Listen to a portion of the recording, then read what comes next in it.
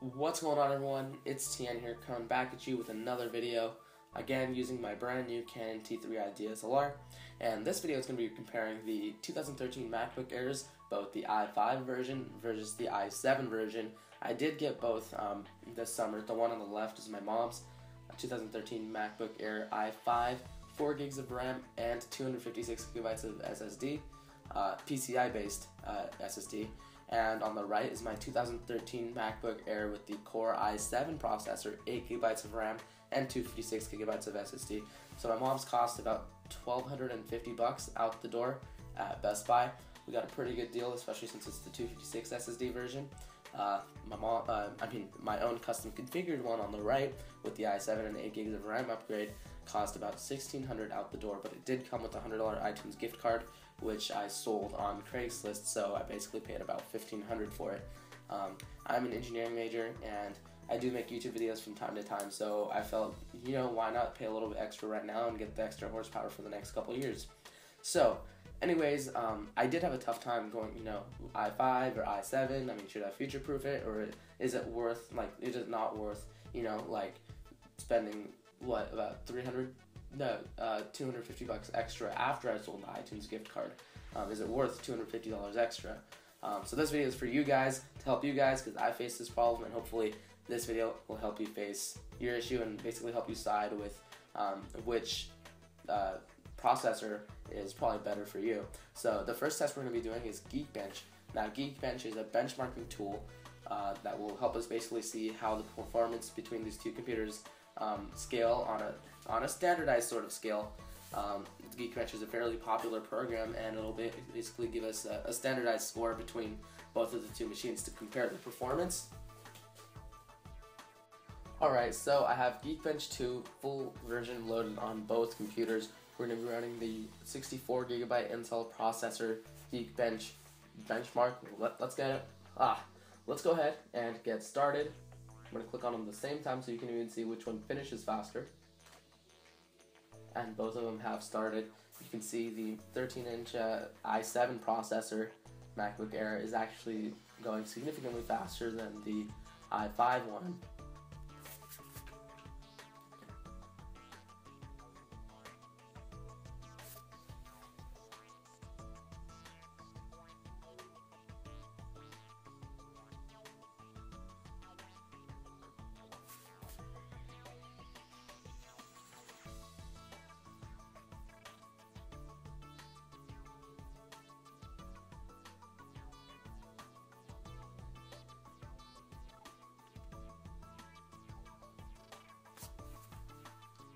Sorry, hopefully you guys can see the screen just fine on the camera.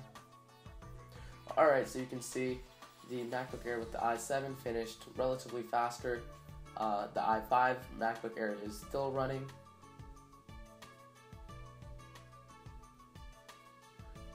Alright, and there we go, both have finished.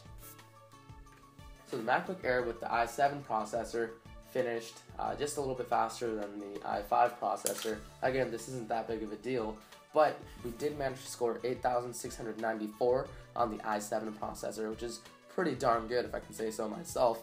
I mean, this laptop is super thin, and with the i7, it really just powers through and gives some pretty good performance. 8694 is not bad at all. And now the i5 model gave us a score of 7,084. And so uh, that's, again, not bad at all. Um, this is both the i5 with the 4 gigs of RAM, so you do have to put that into um, play here as well. Alright guys, so I got Final Cut Pro 10 open on both machines. We're going to be doing a quick render test to see how both stack, stack up uh, while rendering the same video file. It's about a 500 megabyte file. We're rendering in Final Cut Pro 10.0.5. Uh, so this will, again, help us uh, get an idea of how um, the processor on each works, um, whether you know the time difference in rendering is significant or not. Uh, so let's go ahead and get started. I'm to go ahead and hit render on the two computers at the same time. Alright, there we go guys. Both files have started rendering. You can see the i7 MacBook is at 5%. Uh, the i5 is actually keeping up just fine. It's also at 8%, 9%, uh, i7's at 12. So you can see there's a slight significance. I mean, maybe one to two percent at the most. Um, so far, at least so far. So let me go ahead and zoom for you guys and see how the percentage is.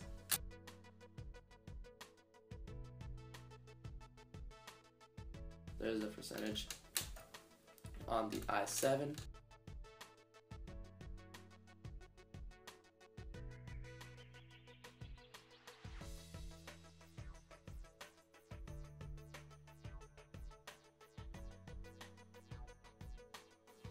See it's about about 40%. Now the i5 is starting to slow down a little bit. It's at about 37%, while the i7 is at 47. So uh, a difference, a gap is starting to emerge here. Uh, the file has popped up on the i7, but it's not fully done render. Oh, just kidding, it is. It's at 100%. Now let's see. It's finished rendering at uh, on the i7. Let's see how long it takes. All right, there we go. Alright, so the file has rendered on both. You guys could see it wasn't that big of a difference, maybe 30 seconds to a minute tops. Now obviously you're going to see the gap uh, widen more and more as the file size becomes larger and larger, especially if you're shooting in the RAW format for DSLRs. But you can see both have rendered just fine, both look great. Um, you can see the video playing on both.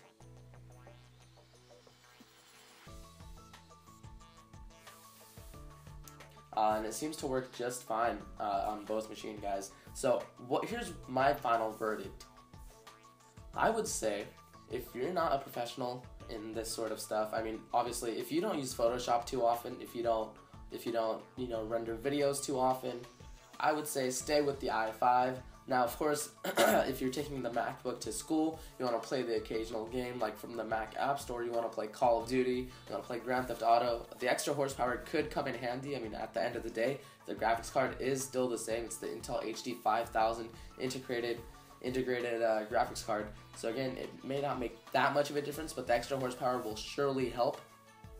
Uh, so if you're gonna be someone who's gonna be gaming a little, just a little bit, you know, lightweight gaming or video rendering or doing Photoshop, I would say, you know what, go ahead and get the i7 just to future proof it. You're gonna use the laptop for the next three to four years, so may as well um, have that extra horsepower handy.